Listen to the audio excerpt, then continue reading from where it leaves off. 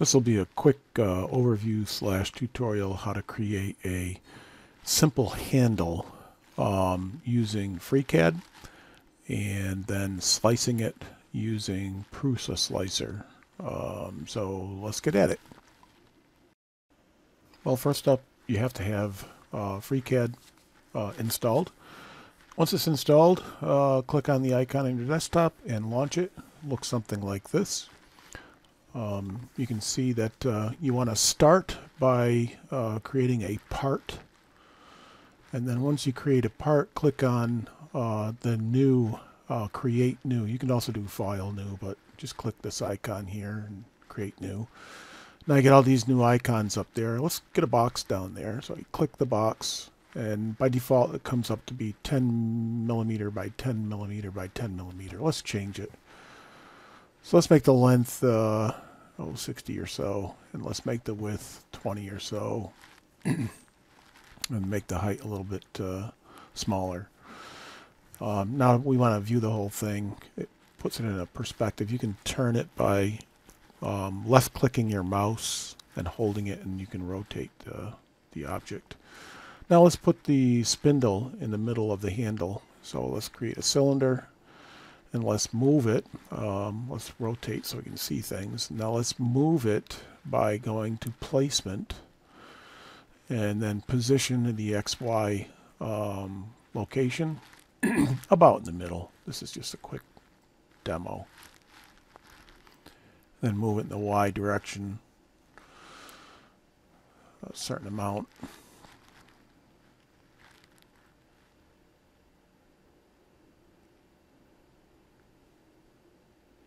Sort of get in the middle.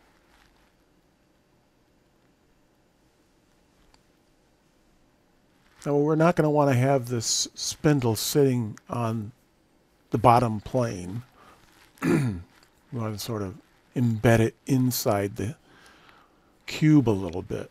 So to do that, let's rotate it a little bit. And you can see it's right at the bottom. And that'll create a, a little marring mark on your print when you print it. So let's move it up a millimeter. Now you won't see that little mark. let's make it bigger. Everything's in radius, not diameter, so that'll be the first mistake you probably make. Let's make it a little bit longer. And now let's uh, let's um, right click and hold your I think it's the alt signal or alt key down and that'll mark these corners and you'll see what I'm going to do. Mark the four corners and then click on the fillet and uh, let's make it about five millimeters. If you make it too big, it won't do anything. It'll it'll scream at you. Five should be good. Click OK. And makes a nice rounded corner. So now we want to take and uh, save this. so let's save um, the project so that if we want to come back and make some modifications we can. Put in the folder where you want to put it. In this case is um, on my network drive and I'm going to create a new folder called test FreeCAD.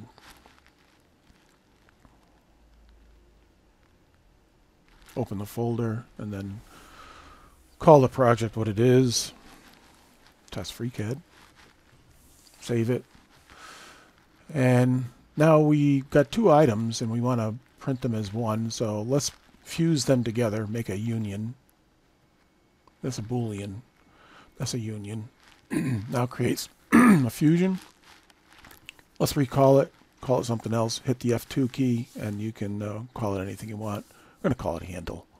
Save it, save the project again. And now we want to export handle as an STL file. So let's make sure it's in the right directory and then you hit save. Pretty much done with FreeCAD. now let's launch uh, Prusa Slicer. You can download it uh, for free. And once you launch uh, Prusa Slicer, um, you're ended up with a blank slate. You want to click on the uh, plus icon there to add an object and let's go at our object that we just created, the STL file. down there in the test FreeCAD folder. Should have called it something alphabetical at the top so you don't have to scroll. And just open it. And it, it's placed on the platter and um, it's flat. Now let's uh, just say you want to rotate it. so let's rotate. So now it's sitting on the spindle and that's not going to print real well. Um, you're going to have to have supports. um, printer's not going to make anything really pretty there. So you can add a support uh, with Prusa Slicer. You can paint them on. Um, and by painting them on, you just take your cursor and press the left key and paint. Um, that's one way to do it. It's tedious. Um, I won't get into organic supports or anything like that. That's really new. As you get more familiar with the tool, you can start using supports differently. Creates a much cleaner print. And that is um, the Smart Fill, and that's probably what you'd end up using to start with. And so now when this prints, um, it's going to have supports all under that area. Supports are really hard to get off a print most of the time, and it makes a mess. So you try not to use supports unless you really have to. But let's slice this. And I have a, this is a three color printer, so I have to tell it what extruder it has to use. Let me use the red extruder. It's got red plastic in it. And um, I'm going to tell it to slice.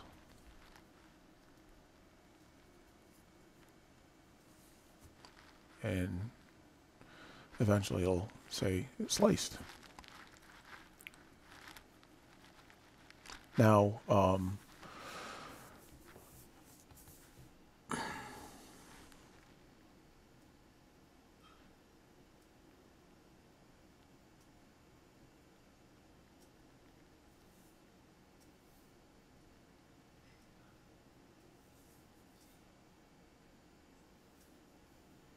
Now that's my G code for the slice and exported exporting is finished. So now let's bring up that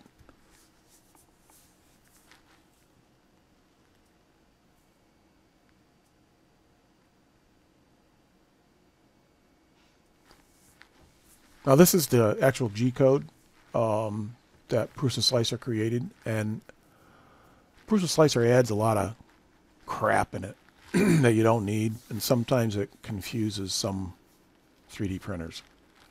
Mine it confuses. It, does, it doesn't do a bad job. It just stalls the printer every once in a while. Uh, it continues to print, but I don't like it to stall because it'll leave little marring marks on what you're printing. So what I do is I go in and I remove all that crap, and it's basically comments. And you'll see see all that white space, and then there's comments in there.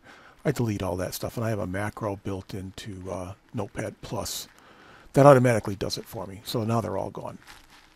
You save it. And now let's uh, go take a look at this with the Prusa Slicer viewer.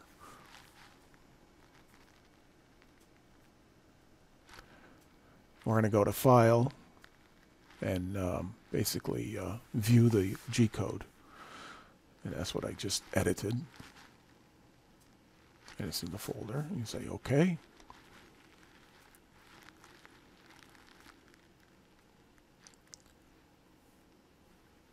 It was on another screen, so I had to drag it over. and you can see I can pull down, and this is the layers that it is showing you. And it's very useful to figure out whether you're going to get a nice print or not. Now let's take and um, uh, flip this handle over and make it more difficult to print.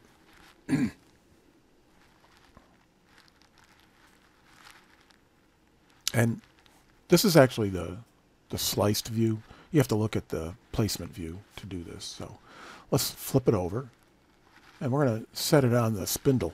and so now it's got all that airspace underneath there that the 3D printer is not going to do a very good job at.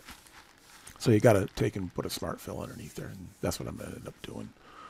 Put a smart, fill. well, you can do this if you want. That's really tedious. Um, I'm going to show you how to do this.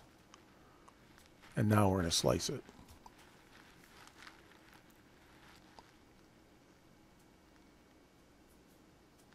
And it'll come back and say, okay, now this is what it's going to look like. It's going to have all that green area. It's, it's going to be plastic that's going to be stuck to the plate and stuck to your object loosely. It comes off, but every place that the support was, there's a little bit of a mar. So if you're trying to get a nice, clean looking plastic print, it's not going to look so good.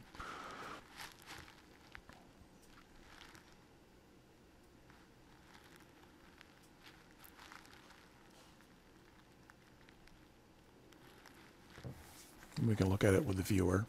And it looks the same but the viewer is very useful. Um, you can see all the layers that got printed. You can actually view the speed that the layer is printing at the density um, it's up there in the upper left hand corner all those icons that's what they mean.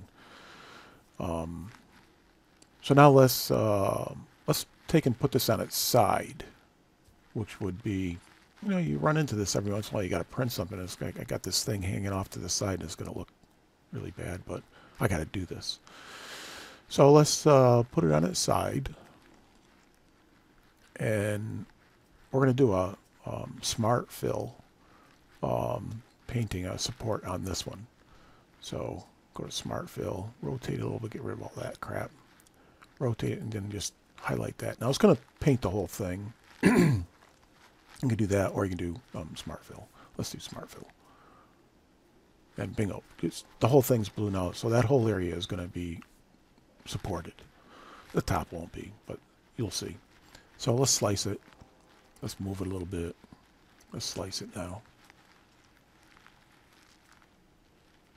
And you can see it's supported. Make a nice print.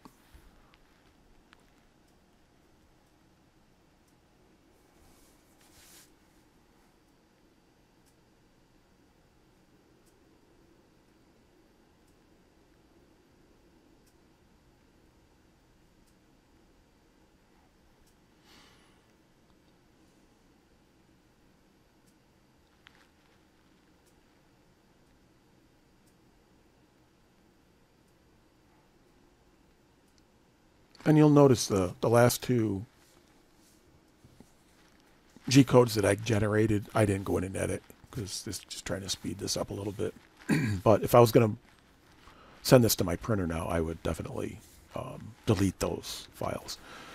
Uh, not the files, but the, the comments and stuff. And that's uh, pretty much it. Um, you're done with uh, FreeCAD. I mean, you're done with, and just created the G code files so you can print them on your 3D printer.